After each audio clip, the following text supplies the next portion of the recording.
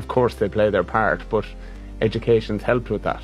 Yeah, I think the science around nutrition has has been the same for a long, long time, especially sports nutrition.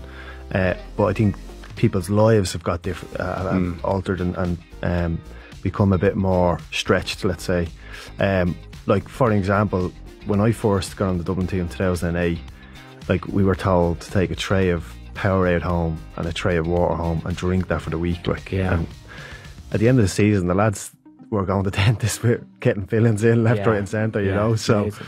to that, to being told to drink it more so through throughout the game and make sure you get your hydration before the game rather than through through you know through water, obviously, and if you need any electrolytes and stuff like that.